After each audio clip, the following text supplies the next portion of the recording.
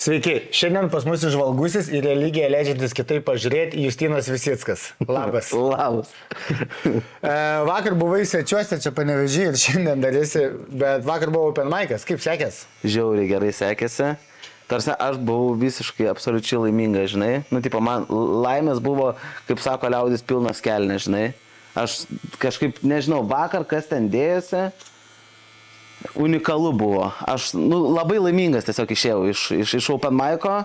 Jau kai nulipau nuo scenos, žinai, buvo toksai, eik savo, eik savo, žinai, taip gerai. Ir, nu, aš visada kažkaip, man panevežys ir, ir, um, e, ir, ir tą panevežę publiką, aš šiaip esu, žinai, visiškai panevežį įsimylėjęs.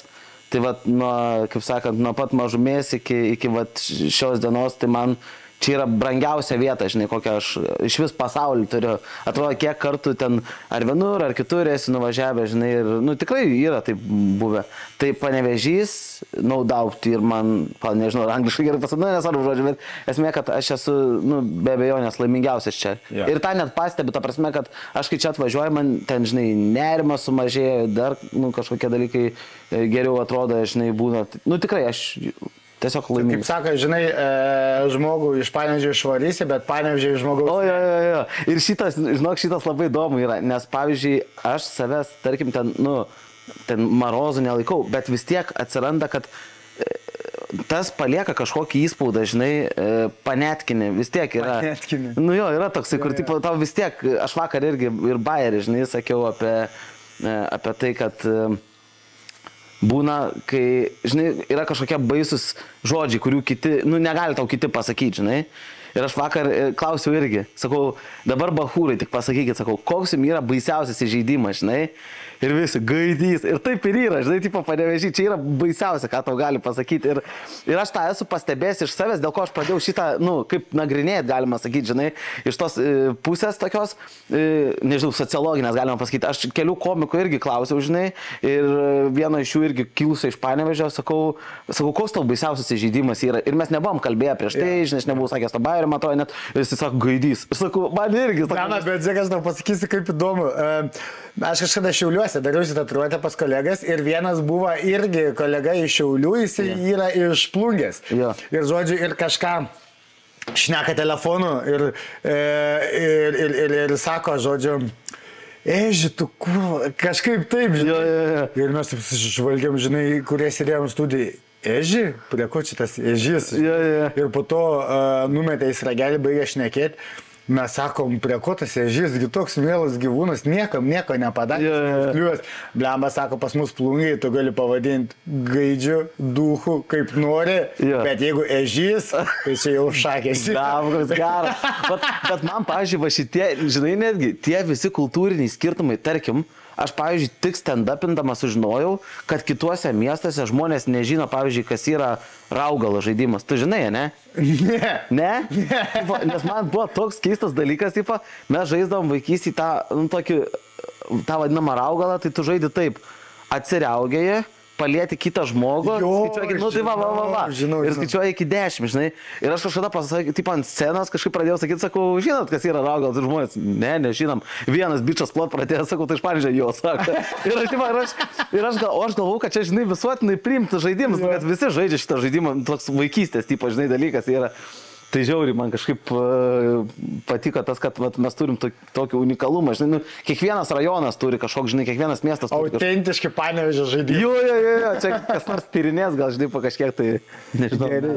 Nu, dabar man tai labai įdomu, e, kad papasakotum apie tatuiruotę, ką mes čia darom. Nes e, man labai patiko tavo idėja, tai pasidalink ją. Jo, tai aš, e, kai tu man pasiūlėjai, e, man atsiverė, žinai, tas toksai, aš net nemoku paaiškinti, bet toks jausmas kaip prie vandenino stovėtum, žinai, arba, nežinau, nu, nu gerai, gal vandeninas šiandien nėra tas pasakymas, bet va tarsi aš stovėčiau knyginę, žinai, ir tiesiog aš dabar turiu opciją belę ką pasimti, bet kokią knygą, kokios noriu. Ir tų knygų, žinai, yra belė kiek daug. Ir tada e, aš galvau, va, ko aš noriu. Ir e, mano šita idėja buvo išsitatuiruoti šitą citatą, tai yra citata Švento Laurino, pirmų amžių kankinio, kuris mirė už tikėjimą ir jis danguje yra komikų globėjas. O dėl ko jis yra komikų globėjas? Dėl to, kad jo prieš paskutinį žodžiai, prieš pat mirtį, jau jį nužudant, jis mirė kepamas ant tokių kaip grotelių, galima sakyti. Nu, ir jis pasakė imperatoriui, kad sako, mano šitą vieną pusę iškepė, vers kitą ir tada sugraužk, žinai, arba suvalgyk. Tai labai įdomu buvo, aš jau kai išsirinkau šitą ir kai jau tu aprūvinai, tai mes tada su bičiuliu mano geru Justinu irgi, e, jisai studijavo klasikinės tas kalbas, žinai, e, latynų ir graikų. Tai ieškojom tinkamiausią vertimą, nes aš nenorėjau, kad būtų kažkoks literatūrinis, žinai, ten pagražintas, aš norėjau kuo originalesnės, žinai, citatos. Tai va, ir greta yra palmės šaka, Tai čia irgi, vat, kaip sakiau, e, prieš filmavimą tai yra kankinių simbolis bažnytiniai ikonografijai. Jeigu pamatysit kažkur, nežinau, e, paveikslą, kur žmogus laiko palmę, e, tai reiškia, kad tas žmogus mirė už tikėjimą. Tai va. Supratau. Um, apie humorą. Mhm. Irgi įdomu. Jo. Uh, aš klausiau tavo interviu LRT, mhm. dar skaičiau kažką. Um, tai Tu minėjai, kad e, humo, hu, uh, ir tai jau pradėjai, gal nelys blogai įsireikščiau, kad tai tuo domėtis pradėjau 2009 metais. Jo. Prasidėjo humoro klubo uh, laida, pasirodymai. Tai, um, o būdavo, kad mokyklai, pavyzdžiui, per pertrauką su klasiukas atsistodavo kažkur ten salėje ir darydavo savo open mic'ą mokyklos lygmenį. Ne, aš, žinai, tuo metu, tais laikais, aš net nežinojau, kas yra open mic'as, žinai, nes tais laikais dar jų ir nebūdavo. Bet e, mes turbūt galbūt ką, jeigu ir darydavom, tai gal uh, dalindavomės, uh, žinai, tais bairiais, kuriuos išgirsdavom. Bet tą patį uh, procesą, vadinkim, nes aš pamenu, rodydavau pirmadieniais, kiekvieną pirmadienį sėdėdavau, nežinau, mes dar tuo metu gyvenam uh, vieno kambario bute. E, žinai, Staniūnų gatvėje. 18 vaikų. Ir ne 18 buvo, bet, bet buvo tos, žinai, toks, m, vis tiek, e, tie, kas va, iš panevežė žinos, nu panevežys, pa, pa, panevežė va, Staniūnų gatvė, nu, toks tai yra biškių hudas, žinai, Na jo, jo. nes daug bendrabučių, visą kitą. Ir aš, aš labai gerai atsimenu, žinai, penktas aukštas, e, vienas kambarys, aš sėdėdavau gal net virtuviai, kur virtuviai, žinai, mes turėjom tokį nedidelį teliką ir ten viską. Ir Eurolyga ketvirtadienį žiūri, žinai, ir, ir humoro klubą pirmadieniais. Tai man kažkaip tas toks, tokius šiltus prisiminimus sukelia. Tai mokykloje gal mes ir aptarinėdavom, aš iš tikrųjų, vat, sakau, tiksliai nepamenu, bet kad žiūrėdavau kiekvieną kartą, tai jo, man būdavo čia viena mėgstamiausių laidų, žinai. O kaip tu gyvendamas tokiam rajone, vat, e, užaugai tokiu žmogum? Nes ten, e, jeigu staniūnai įtraukia, sunkiai paleidžia. Ta prasme, nu, yra tas turbūt, mm. ne? Vis tiek mes Nežinau. turim tą stereotipą, kad ir kaip bebūtų, ne? Jo, bet e, nežinau, gal aš tiesiog... um, Nežinau, va čia va geras klausimas, kaip neįtraukia. Gal aš, žinai, iš vienos pusės aš turbūt pakankamai mažai praleisdavau laiko kieme, gal vi- vienas dalykas yra, e, kitas dalykas, jeigu ir praleisdavau, tai mūsų tie, žinai, kiemo žaidimai, ankstyvoji paauglystėje, vaikystėje, nu tai jie ir apsiribodavo, ta veikla tiksliau apsiribodavo žaidimai, žinai. ten. Augalais. E, Nu, va, nu, rauklais, slepynės, žinai, dar kažkas ten. Prisikalenins. Jo, jo, jo, jo, nu, va, iš, to, iš tos tokios serijos. Mes žaidom amerikietiškas slepynės, žinai, kaip žaisti. Tai labai įdomus dalykas yra, aš irgi nežinau, ar kažkur kitur žaidžia, nebent kitų pavadinimų. Kur pavyzdžiui, e, aš gyvenau penkiaukščiam, tu nusisuki ir e, stovi Hebra ir beda pirštų į nugarą. Ir atsisuki ir turi pasakyti, kas bedė. Ir sakyti aukštą. Nu, pavyzdžiui, ten tipo Jonas, penktas aukštas. Ir jeigu tu neatspėjai, tada tu varai penktą aukštą, visi varas slėptis, bet jeigu atspėjai, kad Jonas, tai tada Jonas varai penktą aukštą, o jūs varat slėptis. žinai, kaip, o žinai, o žinai, kaip vadinasi tulpių slėpinės. Kai nusisuki, beda tau peilį į nugarą ir turi spėti šošint, kad bėdė. Ir tai tai būdavo, aš galvoju, lama, čia jeigu būtų toks žaidimas, tai va. Bet čia būtų toks labai, lama, čia yra tai, ką mafijos... uh, vaikai Jo, jo, jo, jo, žinai. tulpių žaidimas. Tulpių slėpinės. Tulpių slėpinės. Net skamba labai gerai, tulpių slėpinės. Jo. Žaisdavai tulpių slėpinės, jau. Ir tek. Esu laimėjęs. Esu laimėjęs. Matai. Jo, esu laimėjęs, lama, Jo. O, geras. Um, iš tavęs, um, kažkaip e, neteko girdėti labai keiksmų kažkokių, nei per pasirodymus. e, Ten, ir man tas labai patinka, žinai, aš labai mėgstu klausytis humoro, kur neina per tą prizmę, kad ten, žinai, išvardinti visus savo žinomus žodžius, o ja. kada galima jų išvengti, man tada daug subtiliau viskas atrodo mhm. linksmiau. Tai kaip tai suvaldai? Ir kas turėtų atsitikti, kad tu pradėtum taip jau riebiai keiktis. Bet žinok, šitas dalykas, e, aš pačioj, pačioj, e, nu, taip vadinkim, karjeros pradžioj, tai jo, aš e, praktiškai nesikeikdavau ir nesakydavau ten daug kiksmažodžių, žinai, arba iš vis tenkdavausi, nes tas atėjo iš slemo, nes aš anksčiau slemuose labai aktyviai dalyvaudavau ir aš buvau savo pasakęs, kad aš nenoriu keikti, žinai. Ir tas persidavė ir į komediją, aš nebenorėjau irgi tada, žinai, kiksmažodžių vartot, bet aš turiu prisipažinti, kad aš dabar būna, kad keikiuosi, e, kartais ir riebiau, kartais mažiau ir dabar esu pastebėjęs, žinai, e, čia visai neseniai turėjau tokį pasirodymą, kur labai mažai keikiausi ir supratau, kad gal aš visai ir norėčiau grįžti prie to, kur visai nebesikeikiu arba labai mažai, žinai, keikiuosi. Bet e, kartais kartais man yra, pavyzdžiui, vieną kartą buvę taip, kad aš, nu, turėjau uh, open mic'e pasirodymą ir uh, labai labai daug keikiausi ir tas pasirodymas buvo labai labai prastas. Ir aš tada tą pačią medžiagą pasakiau be kiksmažodžių kitą savaitę ir buvo labai labai geras pasirodymas, žinai. Nu tai čia labai gal priklauso kartais. Su tais pris, iš vis su kiksmažodžiais, man atrodo, e, aš kažkada esu va taip galvojęs, kad e, keiksmažodis tai yra kaip prieskonis, ne? Čia gal kažkas ir yra sakęs. Ir, nu, yra faktas, kad yra žmonės, kuriems žiauriai patinka, žinai, sūriai valgyti. Nu, tiesiog patinka. Ir čia yra normalu. Nu, jie tiesiog valgo sūrį. Jo. Ir, ir, žinai, ir jiems tada ir komedija. Nu, taip yra ir su žmonėm, kuriems patinka komedija su daug keiksmažodžių. Aš neteisiu dėl to, žinai. O yra kas valgo, žinai, ten visiškai be druskos arba su trupučiu druskos. Ir jiems yra skanu. Lygiai tas pats ir su komedija, žinai. Nes m, man atrodo kažkaip, kad, nu, kiekvienas pasirenka, kaip juokauti, vienas dalykas, ir kitas dalykas pasirenka, ko klausyti, žinai, ko nori, kas jiems labiau patinka, nes vieniem viena patinka, kitiem kita patinka, ir čia yra labai normalu, žinai. Tai va, man atrodo taip. Čia toks off topicas dabar. Mm. Mes nepaminėjom, kad e, čia yra tavo pirmoji tatuiruotė. Tai jokios lekcijos aš nematau. Tai kaip tu, kaip tu jautiesi, ta prasme? Aš labai, nu va irgi ką sakiau prieš filmavimą, aš labai paniškai bijojau, kaip reikės kalbėti, jeigu man labai skaudės, žinai, nes uh, man su to skausmu ne visada lengva būna. Ir aš galvau, jeigu čia žiauriai skaudės ir aš ten pastoviai šakinėsiu, žinai. Aš atsimenu, čia irgi biški off topic, bet į tą temą, kai man darė operaciją kojos ir turėjo suleisti vaistus, nes darė tą pusę tik neutro, žinai, kur kojas atjungia. Ir mane pasadina ir sako, iš pradžių klasės sako, kur tavo stuburo vidurys, ko aš nežinau, žinai. Va. Ir tada, ir tada ten man ten viską, nu, nu tipo, jau surado. Ir taip bedė vaistus, aš taip išsigandau, nes buvo toksai giluminis. O čia epiduras? Nežinau, nu, ką reiškia padatą, ne? Epiduras tik į stuburą, nervą turi nu, pataikyti. Jo, jo, jo, jo. jo tai gali labai blogas pasiekmes būti, kiek nu, žinau. Nu, va, tai man atrodo, tas turbūt ir buvo, nes ten į ten durė. Ir žinok, ten buvo toks giluminis skausmas, kur, pavyzdžiui, čia tai durė, žinai, tipo, o ten toks, nu, iš gilumos, kaip kažkas labai labai smarkiai tau duotų su kumščiu, žinai. Ir aš net pašokau, jos pradėjo ten pas nugydytą, ar ten sesutės, nežinau, nu, net laikyti pradėjo, žinai, nes aš taip pašokau, nes toks didelis skausmas, žinai, buvo. Tai va, ir dabar e, aš jaučiu, žinai, tą skausmą, bet jis yra toksai, e, kurį galima kentėti, kaip sakant. Nereikia tavęs laikyti, kaip matau. Ne, nereikia dar kol kas. Um, klausiau interviu su tavim ir man įstrigo viena e, mintis e, tavo, kad, kad per kažkokias laidotuvės tu laikysi, kad nepradėtum juoktis. Uh mhm. -huh. Čia to, kažkokia tokia situacija buvo. Nebuvo. Um, Gal netaip kažkaip.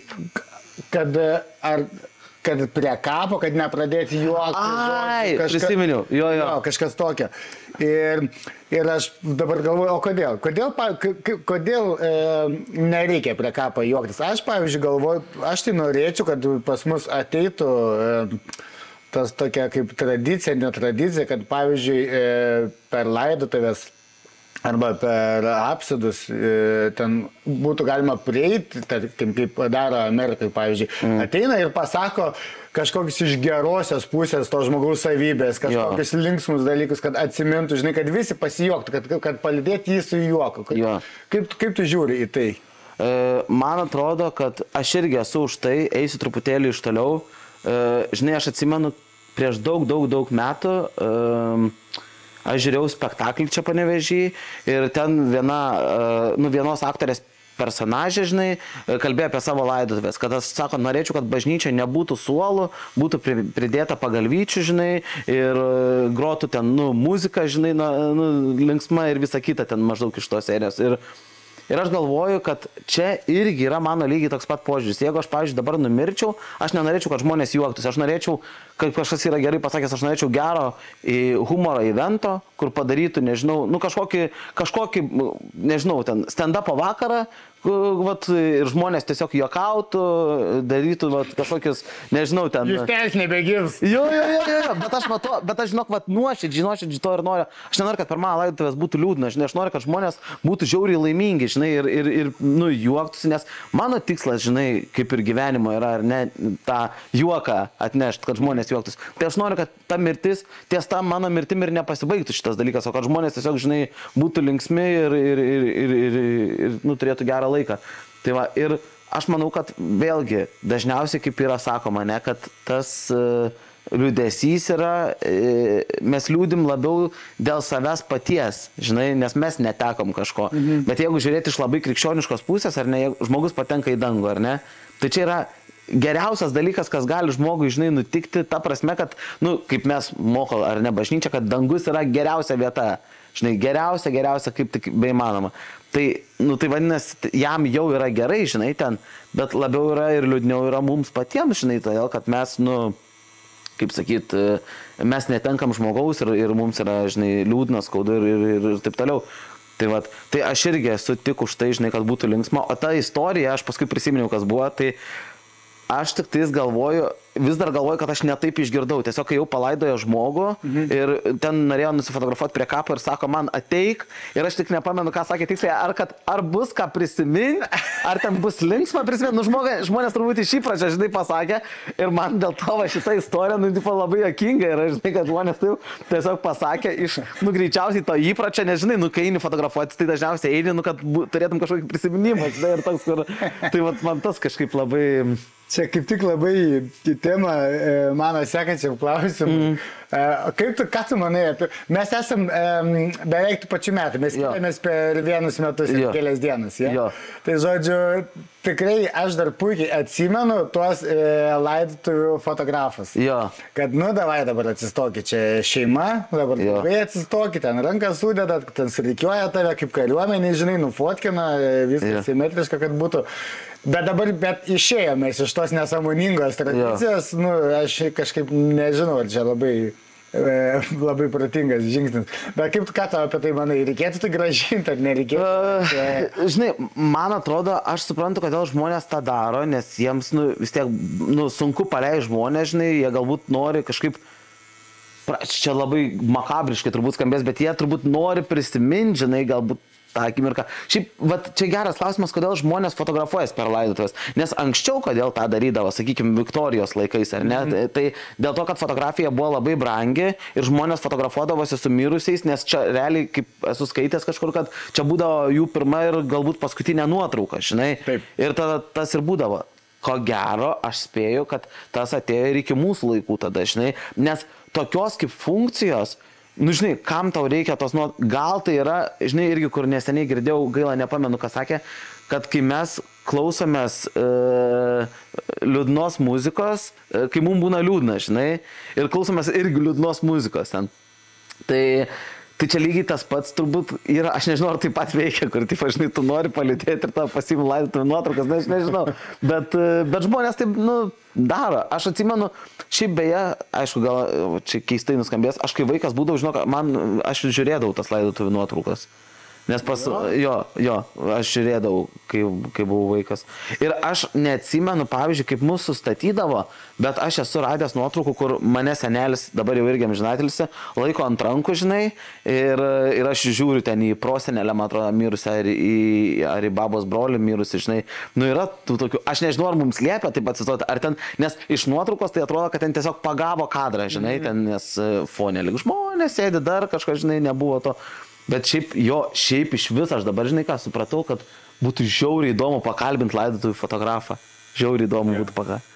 Kuriozinė situacija. Taip, jeigu šitą laidą žiūrės laidotuvių fotografas arba jos pažįstat, labai prašau, e, parašykit man žinutę, nes aš tikrai norėčiau pakalbinti. Labai įdomu. Labai tikrai. įdomu. Šius kaip tu pasirenki šitą kryptį, žinai?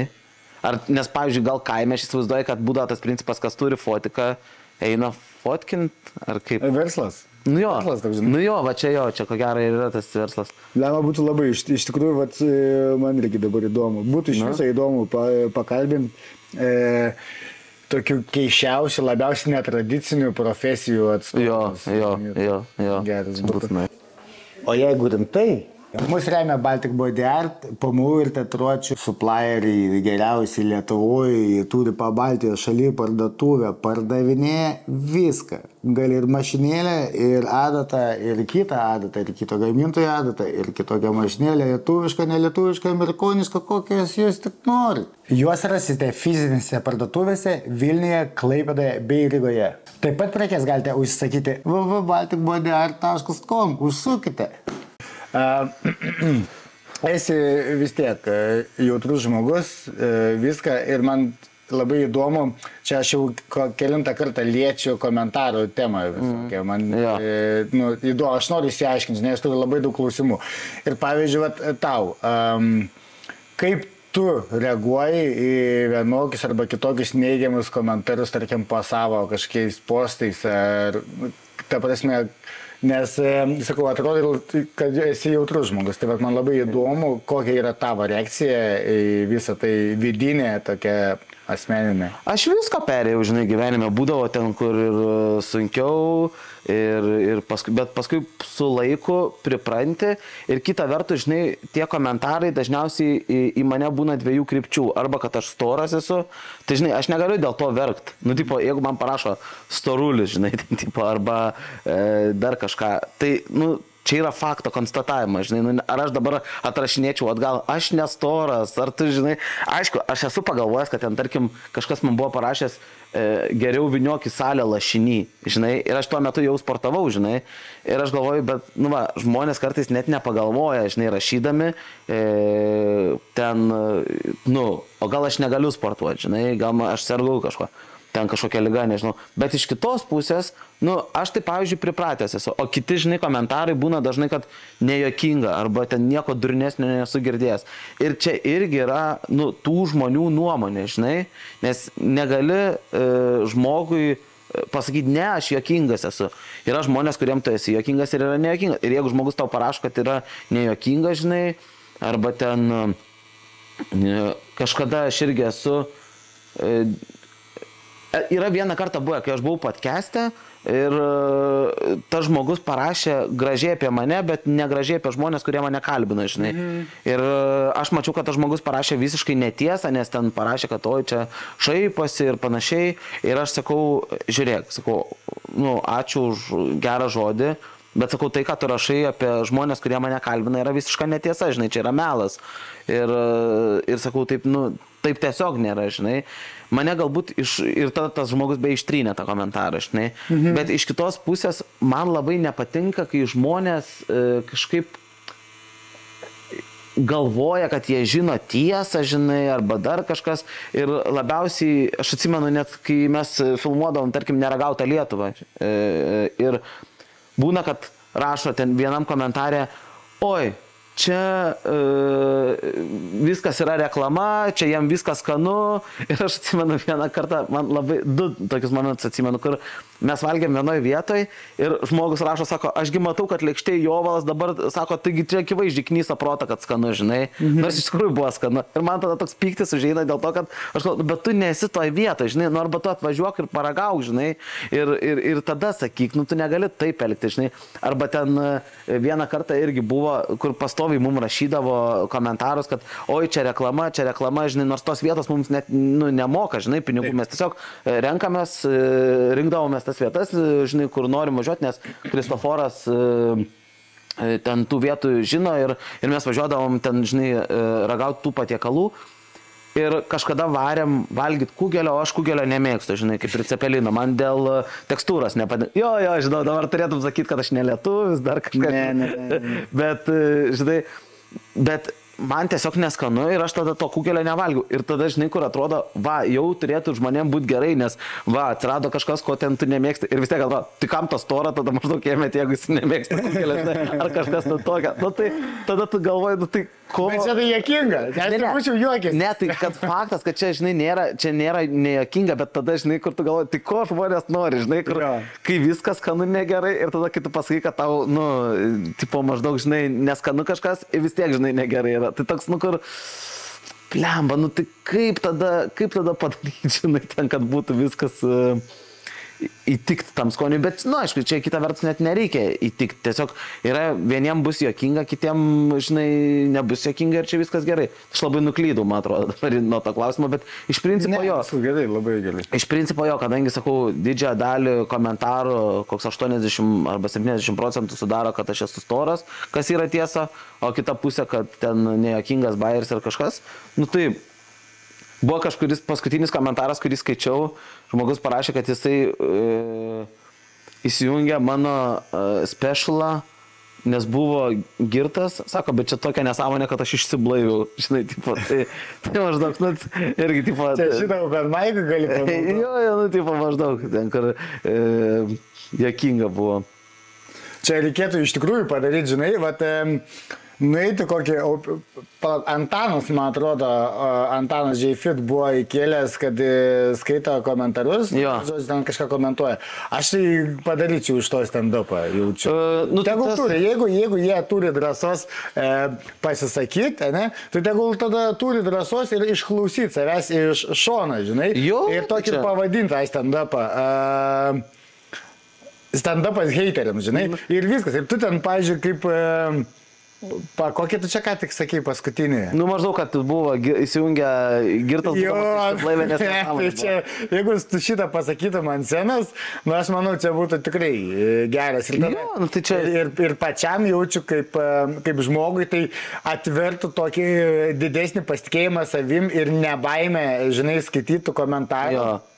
Ir, ir, žinai, kartai, kartais būna, jeigu esi vienas ir skaitai tos komentarus, tai gali tave paliesti, žinai, sužeisti. Jo. Bet jeigu tu atsistosi ir pas, iš, iš savo komentarų padarysi kažkam komediją, aš Jo. manau, kad čia atvelsi labai daug tokių. Ir, ir šiaip, žinai, tas komentarų skaitimas čia gan populiari praktika, žinai, yra, uh, nu, tarkim, ten uh, ir užsienį dar, darydavo, žinai, uh, kai žmonės, garsų žmonės, pavyzdžiui, skaito komentarus apie save, žinai, mhm. ir čia Lietuvoje žinau, kad buvo padaryta, tai jo, iš to galima komediją drąsiai padaryti, man atrodo, tai čia, žinai, nes, nes tai, jau, tai jau yra daroma ir tai veikia, žinai, tai tu galbūt tokiu būdu tarsi ir nusinulini, žinai, nes, nu, tau pasakė ir tu maždaug, e, nu, vat, pritari. Čia kaip tas, e, nežinau, ar galima taip sakyti, Eminemo fenomenas, žinai, e, aštuntoji mylė, kai pasakė, ta, e, repavo paskutinį tą, žinai, buvo tas paskutinis betlas ir jis ten pasakė visus neigiamus dalykus apie save, man atrodo, ir ten, ar nebuvo jo paskutiniai žodžiai, kad pasakyk ką nors naujo, žinai, ir, tas, Jo. ir ten rodė, kad pralaimėjo, žinai, tas žmogus. Tai, Blemba, man iš karto šurpai nuėjo. Ne? Jo, jo, jo. Jo, nu, tai čia vienas iš vis geriausių filmų, man atrodo, kokį aš esu matęs per visą tą laiką. Komentarai, nu jau čia tokia e, iš vienos pusės ir jautri tema ir, ir, ir, ir iš ko galima irgi truputį pasijokti. O dabar prie tų e, jautresnių temų. Mhm. E, Blem, man sunkiai verčiasi liežiūris, net klaust apie vaisingumą, jeigu galima. Jo, galima, galima drąsiai. Jo. ten kaip LRT minėjai irgi čia visą tą nutikimą, tai aš nebesikartosiu iš naujo. Vat, o buvo kada nors kilę minčių apie įsivaikinimą? Aišku, kad tu pagalvoji, žinai, apie šitą dalyką, bet čia iš kitos pusės, žinai, vėl aš noriu tik pasakyti, kad aš,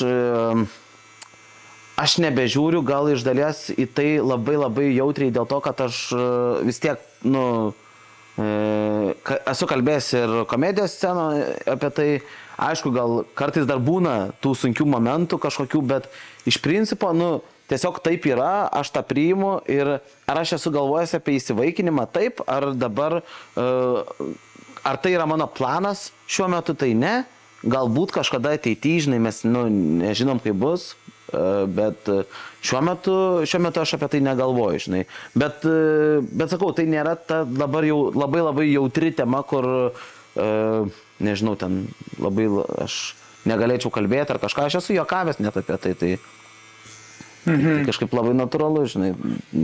Bet irgi yra net metama galimybė. Uh, kad įsivaikint? Kad taip galėtų būti kažkada, kažkada ateityje, nebūtinai čia dabar, kad metų bėgi, bet va, tokioj ateityje kažkada Jo, nu, žinai, ne, nežinai, kaip tas gyvenimas pasisuks, žinai, gali būti, o gal niekada taip nebus, žinai, tai čia sunku kažką prognozuoti ir Ne, aš net nenoriu, žinai, šitą temą prognozuoti kažko. Tiesiog kaip gyvenimas pasisuks, kaip mes nuspręsim, taip ir bus, žinai. Bet jau turite įsivaikinę šuniuką, tai manau, taip. čia jau atnešė daug laimės į jūsų. O, namus. taip, absoliučiai. Tai yra vienas uh, geriausių mūsų padarytų sprendimų, man atrodo. Leidai mėgoti kartu lovai? Taip. Taip, taip, jis viską e, kartu e, būna, kai dirbi, visada prisiglaudžia, žinai, e, kartu būna, kai miega ir nors miega dažniau žmonos pusėje, bet, bet ten, sakykime, šiaip vat, tikrai, kiek jis atnešė laimės ir kiek atnešė džiaugsmo,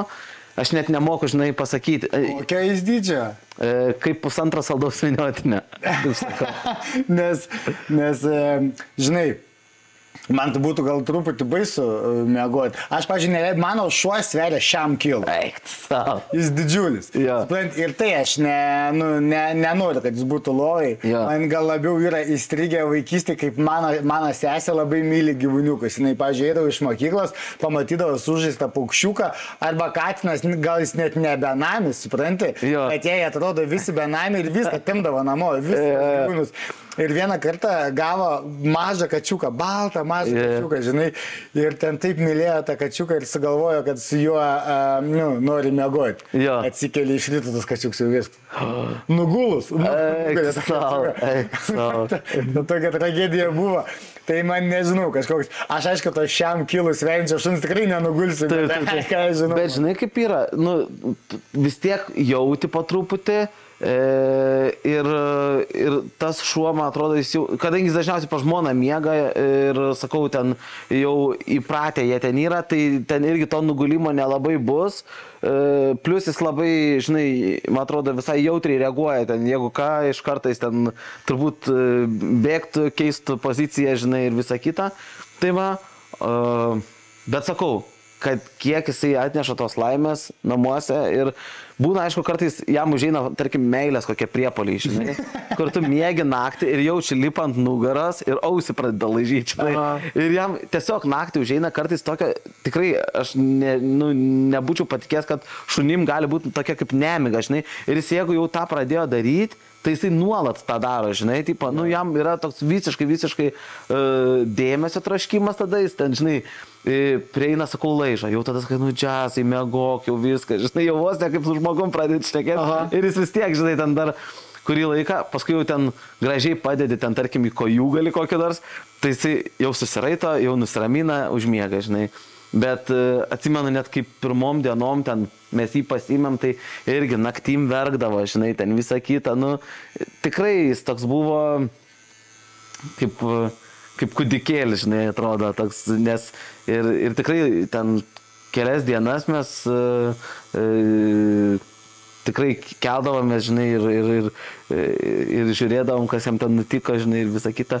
Bet sakau, aš kažkaip, nu, labai labai labai labai jo džiaugiuosi ir man didžiausias dalykas yra, kad e, kad jis namuose, žinai, kai grįžtam aš ar žmona ir abu matom tą, tą džiaugsmą, žinai, didžiulį jo, ten, nu, tiesiog tokia, kaip sakyti, meilė.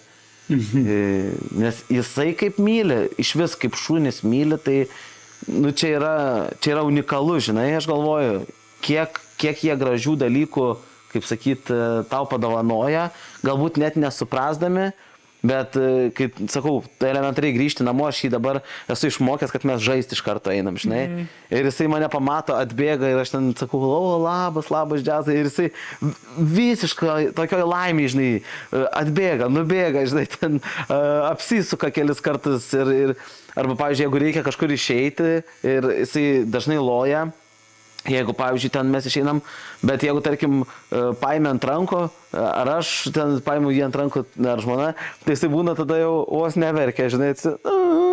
žinai, ir tas net širdis suspaudžia, žinai, atrodo, niekur neįtum, žinai, ten. Tai kažkaip, nu, tikrai, kažkaip, sakau, aš labai džiaugiuosi ir galiu neužčiaudamas e, kalbėti ir feedę pas mane Instagram'e, jo pridėta yra ten labai daug. Mhm. Visur. Tai um, kaip ir sutinki, kad e, gyvūnas namie, jeigu jautiesi vienišas, jisai gydo. Jisai jo, jo, gydo. absoliučiai, jo, mes, sakau, mes netgi, žinai, nu vis tiek, vas su žmona esam kartu ir aš manau, kad jisai labai daug suteikia, žinai, to tokio e, džiaugsmo ir svarbiausia tai, kad šuo labai myli, žinai, va, sakau, man va tas labiausiai kažkaip įstringa, kad šuo turi tokią, nu, visiškai nepamatuojamą meilę, žinai, tau. Ir vat, tas iš tikrųjų labai nu, suteikia, suteikia tokios... Ir visą laiką gausi dėmesio. Taip, taip, taip. Prasme, ir ne, ne to netikra. Apie šitos gydimus su gyvūnus ir viską. Mes kalbėjom čia porą dienų prieš, mes nemažai iš tikrųjų bendravom iki šito, iki šito pokalbio. Mhm. Tai ir tu užsiminiai apie Linkin Parkus, kad e, pradėjai jų klausyti tik tais po Česterio savižudybės. Jo. Tai norėčiau irgi tą temą gal paliesti biški. Mhm.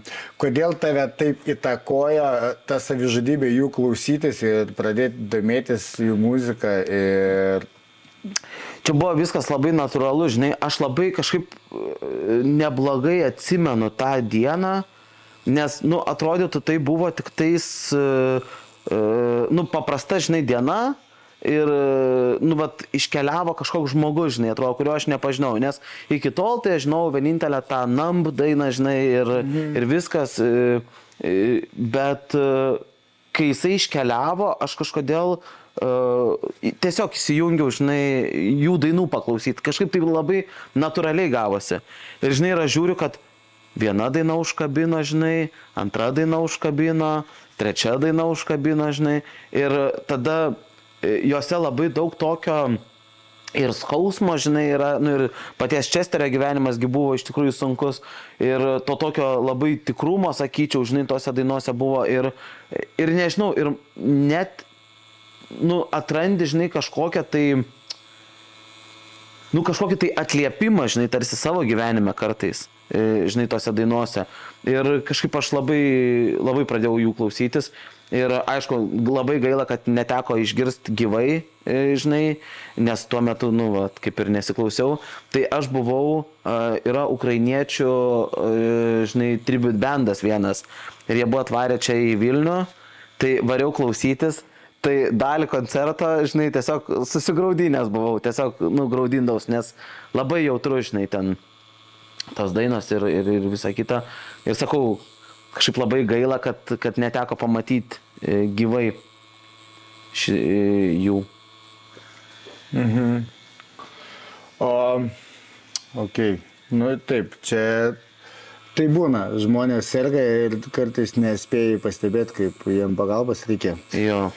Uh, gerai, ir tada gal biški, ta, vėl tonusą pakelimui, nes šiaip biški nusimušė. Tai um, tarkim, o tu per, savo komediją, uh, kada atlikinėjai ant scenos, mhm. uh, ar, ar yra tokių kažkokių patirčių, ar žinučių, ar išvalgų tavo iš religinės, pavyzdžiui, pusės, ką tu norėtum pertikti kaip žinutę ant scenos, pavyzdžiui? daryti komediją, bet uh -huh. tuo pačiu ir kažkokia nešti žinutė, žinai. E, Jo, būna tų tokių, žinai, e, aš kartais, aš turiu keletą, žinai, ten bairių ir, ir apie Jėzų su juokavęs, ir šiaip apie tikėjimą su juokavęs, žinai, man galbūt norisi parodyti, kad, nu, tikėjimas, bet čia ne, ne viena ant sceną, žinai, net ir kalbant, aš kažkur noriu parodyti, kad tikėjimas jisai nėra...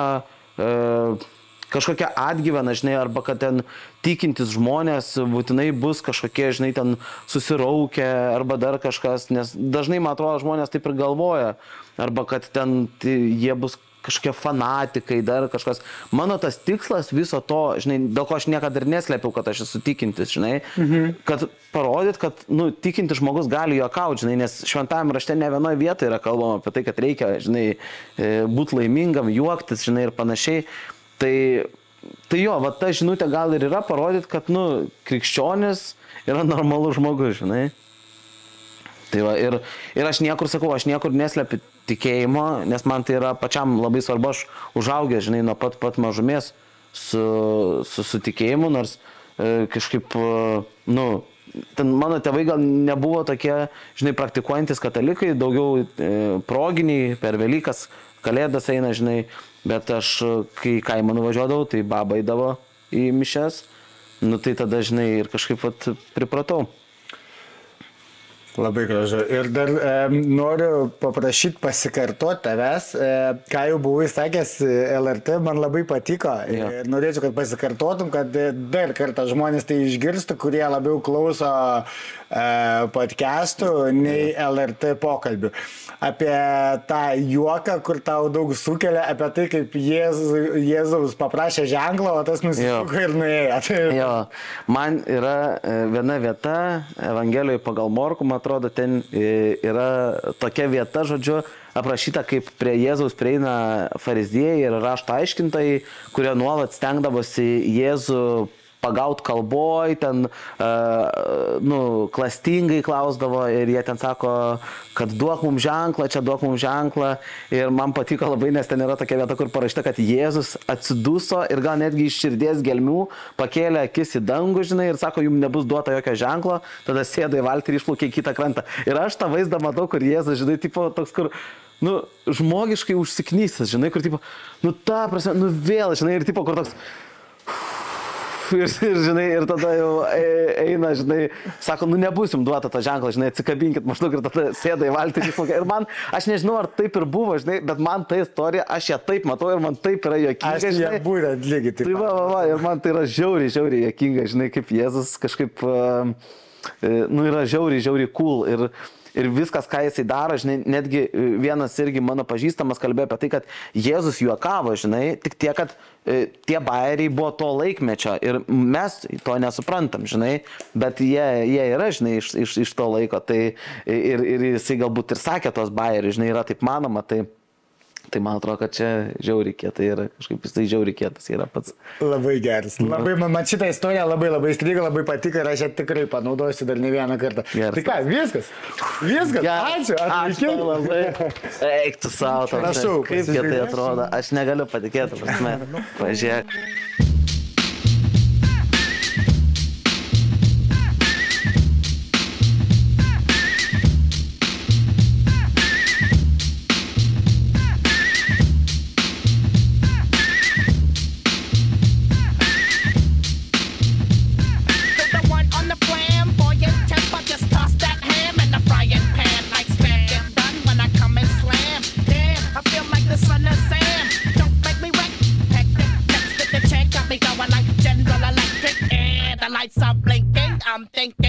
love, I wanna